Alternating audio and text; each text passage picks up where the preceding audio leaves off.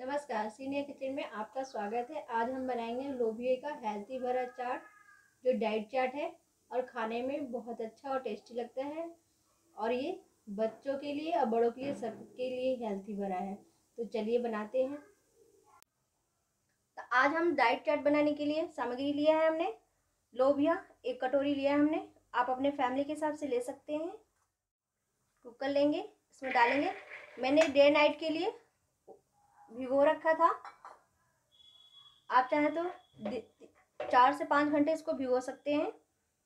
तभी ये बनेगा। और इसमें गिलास से भी कम पानी। इसमें नमक डालेंगे।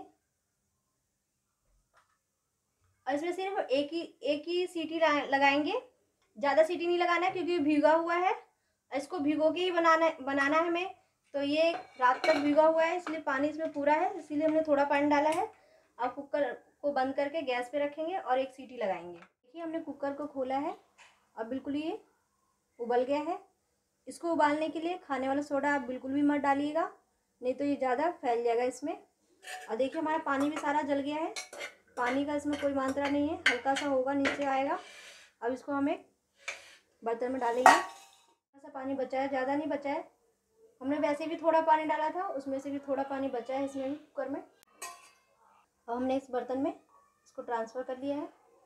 अब डालने वाली सामग्री है हमारी। तो हमने एक डाला है बड़ा कटा हुआ प्याज, एक बड़ा कटा हुआ टमाटर और डाला है तीन से चार मिर्ची।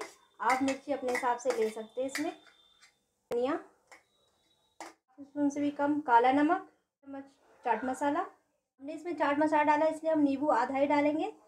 या आप अपने हिसाब से, फ्लेवर के हिसाब से आप नींबू दे सकते हैं।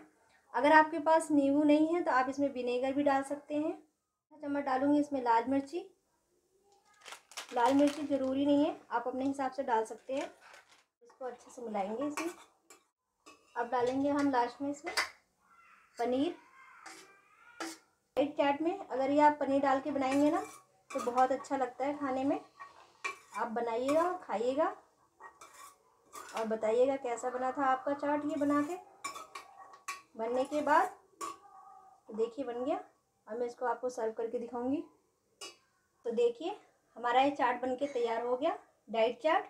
इसको खाइए और एंजॉय कीजिए।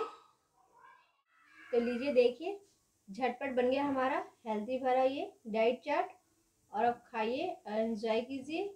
और लाइक और सब्सक्राइब और शेयर ज़्यादा से ज़्यादा कीजिए।